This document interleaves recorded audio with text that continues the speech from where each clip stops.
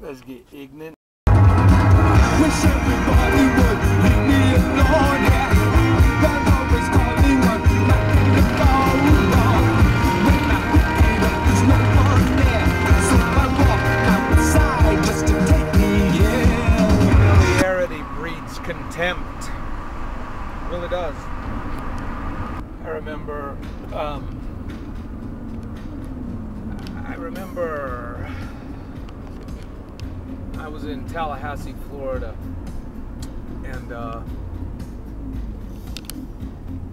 I was set up to have uh, a fellow named John Kurzweg. I think that was his name, John. It was Kurzweg. Uh, was going to produce me, and uh, he somehow had he had recorded an album for Atlantic Records, and uh, um, Ken Scott had produced his record, which got me really excited because Ken Scott produced uh, the Beatles' Revolver and produced uh, David Bowie, Hunky Dory, and um, Ziggy Stardust. Uh, he worked with Bowie on uh, Lou Reed's Transformer album that has Walk on the Wild Side on it. Um, Ken Scott, he's an old, old, old world British gentleman producer, old school. I mean, used to do the kind of producing where you had two inch tape and you would go in and cut out with a razor blade little teeny sections of music, uh, old school producing, which was the kind of producing I did. Anyway, he was he, Ken Scott, pretty cool.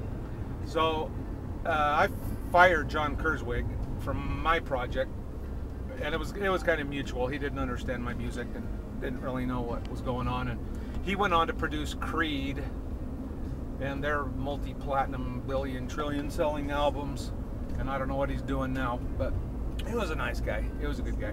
But uh, I got Ken Scott's home phone number somehow, and I used to call Ken Scott and talk to him on the phone. And I used to send him letters, and I sent him some of my music, and he really liked it. I sent him uh, the bottom line, uh, one day, uh, Love Plus Politics, the new stuff that I was working on at that time. He was living in, um, I think, Malibu, and uh, he he was interested in working with me. He he was kind of in between projects, and uh, he said if we could find a hundred grand, uh, maybe we could do something. And I was pretty excited. Um, and I, I, I used to call him up on occasion and uh, talk to him about possibilities. And this is a story that really goes nowhere. But uh, I remember the last time I I didn't talk to him, but the last contact, in a sense, that I had with him was uh, remember David Bowie had all of a sudden out of the blue. Uh, David Bowie had a, a special on um, NBC or on uh, network television. It was like a hour, two hour live concert. It was during, uh, I think, at the beginning of his Glass Spiders tour. And um, Ken Scott was telling me, yes, he's, he's doing the grandfather rock thing. He's he's into his he's the grandfather of rock phase, which is funny because Bowie wasn't that that old at that time yet. Uh, probably in his late 30s, um, early 40s maybe. Uh, anyway, this this this special was on network television um, on a Friday night, and I and I was watching it, and Bowie came out and he had some space boots on, and uh, it was all looking really cool, and I was really excited because I was thinking, and I'm gonna have Ken Scott produce my debut album, and I'll get to meet Bowie, and um, maybe. Um, and I called up Ken Scott because I was so excited. I called him up during the, the thing and he, he answered the phone. Sounded kind of annoyed. He didn't know, they didn't have caller ID in those days, so he didn't know who was calling him. And uh, I think I'd had a little bit to drink and I was just feeling my oats. You know, this was back in my rock and roll days. And uh, uh, he, uh, he, um, he answered the phone. Hello, hello, or yeah, it was more hello. Well, it didn't sound like that actually, but in his in his old gentlemanly British accent, uh, he answered the phone, and I wanted to talk about Bowie and and this and that and my project, and uh, but I froze, and I felt really stupid, and I felt like I had just interrupted him watching the same special, and uh, you know who was I calling up while while Dave's Dave was on was on the tele was on the telly, and uh, and I just sat there for a moment in this awkward silence, and then I hung up. And then shortly after that, uh, I think I heard that uh, his uh, there was a big fire in Malibu, and I lost contact with him, and other things happened from then and there. But anyway, that's my Ken Scott story. While I'm uh, while I'm dropping rock royalty names here, uh, I might as well mention that that roughly that same time I was um, I was doing a cover of uh, the David Bowie song Diamond Dogs, and uh, at that same time I was my some of my financing was coming from um, John Browning, who was uh, this the the Browning arms, you know, Browning guns, World War One, two, not three, but uh, Browning. That's a long story how I hooked up with John Browning. Talk about old world gentleman with his bow tie and me and my rock and roll get up, uh, raising money for my projects. But anyway, he was uh, taking a gamble on me, and uh, so it, when I was covering. Uh, doing my version of Diamond Dogs, which some people say is one of the best versions of Diamond Dogs that they've heard, including Bowie. Didn't say that; they said it. Um, which I, I don't have available yet. I got to get the mechanical license thing figured out, but I'll, I'll put that I, I'll put that up on my uh, SoundClick site, my music site. It's a pretty, it is a pretty good. The guitar work on it is amazing. Uh, Steve Taff, uh, my favorite guitarist I ever worked with. Uh, he was in a band called 9/11, interestingly, and today is 9/11. So this is a uh, coincidental um, in that respect. But anyway, I recorded uh, Diamond Dogs, and in the in the uh, in the song there's a there's a verse that says. Um, crawling down the alley on your hands and knees. I'm sure you're not protected, but it's plain to see the diamond dogs, poachers, and let's see. Uh, anyway, there's a line in that says, "Tod Browning's freak he was." And Tod Browning, I guess, is one of Bowie's obscure references to, I think, a horror movie actor or makeup artist or somebody or some type of artist that created strange characters or something. I can't remember.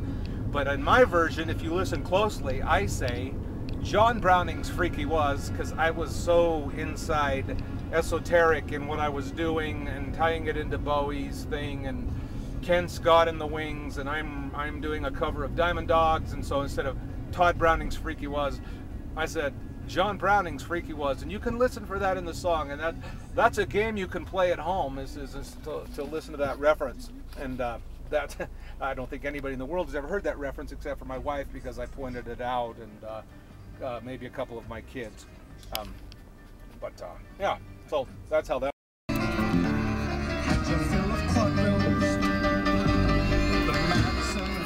Oh, I'm thinking about it. Um, yeah, Steve Taff, great guitarist, uh, one of the best. Him and Kent Ridding, the two best guitarists that I worked with. Uh, at least, yeah. Uh, Steve Taff, it was in Florida, had a band called 911 at the time with uh, three other guys. They were kind of the local bar band in uh, the Tallahassee College Main Street scene. Um, all of them were excellent musicians. But uh, if you want to hear Steve Taft's uh, guitar work, you can hear it on um, my songs uh, Captain Action, which I think is amazing what he did. Captain Action, which is about the second coming. Um, Love Plus Politics, which is uh, about, well, uh, he's on that song. Love Plus Politics, uh, which is about a theoretical politician guided by God. Uh, well, anyway. Um, and, and about the state of actual politics. Um, um, what other? Oh, he's on Supernatural Fire, and I Smoke a Pipe. and the Metropolis, and uh, well, Diamond Dogs, and um, there's maybe a couple more. But anyway, excellent guitarist. Don't know where he is. No idea what he's doing. But uh, man, I would have loved to have had a, a band uh, with him in it. Uh, his guitar, he totally got what I wanted. When I said I wanted animal, monster guitar sounds, uh, like Adrian Belew, uh, you know, Elephant Talk. Um, if you're not a musician or ob- obscure references, probably don't mean a lot. But uh, I like guitars that don't sound like guitars. Okay. Um, and I used to describe things to him in these visual crazy terms like I want to I want this guitar solo to sound like a toaster that just caught on fire that somebody threw through a glass window and then landed in the pool. That's what I want the solo to sound like. And he would go, oh, okay, uh, let me try something. And he'd do something really cool. Um, and I remember uh, I was way into like early uh, sampling and sound effects in music. People weren't doing much of it like I was then. And he's he, he came over one day after hearing one of our demo my demo tracks of some stuff we've been working on, and he's like, you know, this music you're doing is a, I mean, it, I, I love it. I like it. It's it's got all these sounds in it and all this strange stuff. And I was trying to tell him and my publisher at the time and anyone else who would listen, that's the future of music. It's all going to sound like that. It's all going to be eclectic, a mix of different styles, uh, sound effects, uh, noises, samples. You know, I've, I've got Hitler sampled in Love Plus Politics. I went to the video store and got a, v, a VHS and literally sampled uh, off of tape, um, isolated the phrase uh, in that song. uh, Um, and people, I mean, there was sampling going on at that time, but not not for what I was trying to do. And, and in uh, Captain Action, that was a song where it's like funk, kind of bluegrass, rap, rock, and uh, synth pop all meshed in one. And I sent it to my publisher at the time, and he's like, I don't know what. Yeah, he was from Minnesota, and he's like, I don't know what to do with this. You know, it doesn't fit a category. And uh, I'm like, right. Let's get ignorant.